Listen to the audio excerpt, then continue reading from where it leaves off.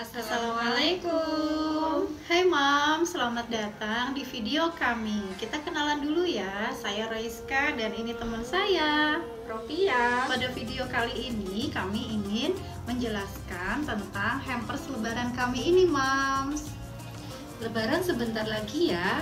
Yang artinya sebentar lagi THR Bonus lebaran Dan sudah mulai berpikir nih ide-ide untuk mencari do untuk lebaran tahun ini. Lebaran kita nantinya uh, akan dihiasi dengan bingkisan-bingkisan untuk keluarga, teman, saudara, dan kenalan kita. Puasa dan lebaran tahun ini kita masih di tengah pandemi sehingga acara untuk kumpul-kumpul silaturahim dengan keluarga ataupun kerabat masih sangat terbatas ya Mams.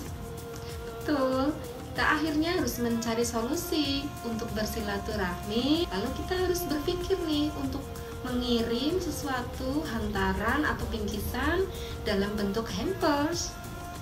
Iya sekarang ini kita ada di era new normal ya moms dan video kita kali ini kita akan membahas tentang hampers kita yang terdiri dari produk-produk UMKM lokal Banyumas yang akan kita beri nama Cangkingan hampers. Ya, produk hampers kita ini sangat terjangkau dengan produk berkualitas ya, nggak murahan loh mams kualitasnya. Hampers ini terbuat dari beberapa produk UMKM. Salah satunya adalah produk pertama kita apa ya, Rojika? Oke, kita, kita akan review satu persatu, satu persatu ya produk kita cangkingan hampers ini. Ini yang pertama nih, produk Mangleng dari Cokotens Mangleng. Bagi yang belum tahu mangleng itu apa, mangleng adalah cemilan khas dari Banyumas dan Cokotens Mangleng menyediakan dalam dua varian rasa. Yang pertama adalah varian bumbu original, kemudian yang kedua adalah Cokotens Mangleng varian bestak.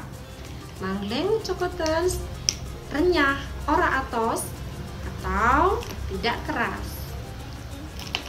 Nah ini ada lagi nih produk berikutnya yaitu dari Joglo Kenari. Dia ada dua produk. Yang pertama adalah dessert jamu selendang pelangi. Ini inovasi jamu dari Joglo Kenari Lomba Ropi Jadi isiannya adalah buah-buahan dengan topping keju, kurma, selasih dan madu dipadukan dengan si kuah biru dari herbal alami. Yang berikutnya dari Joglo Kenari ada bumbu pecel sangrai ini Maropi sesuai dengan judulnya.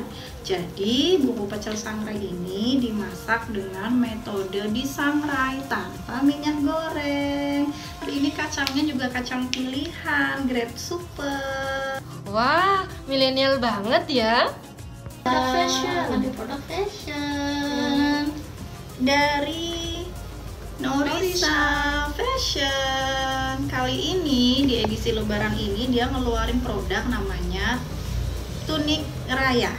Nah kainnya ini terbuat dari dia pilih kain-kain premium ya. Kalau ini Max Marales yang dikombinasikan dengan si Brukat Tule ada pitanya juga nih mams lucu banget deh pokoknya. Semua produk UMKM ini dibungkusnya pakai apa nih Mbak Ropi kayaknya ada yang lucu lagi nih tasnya.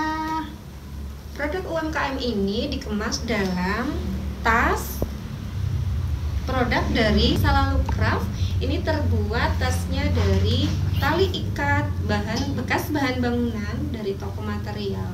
Dan ini memaksimalkan hmm, sampah tali plastik menjadi produk craft yang kece seperti ini dan kita mendukung untuk pengurangan sampah, sampah plastik. Paket hampers ini, si cangkingan hampers ini harganya hmm. Mams bisa dapatkan hanya dengan 250 ribu aja.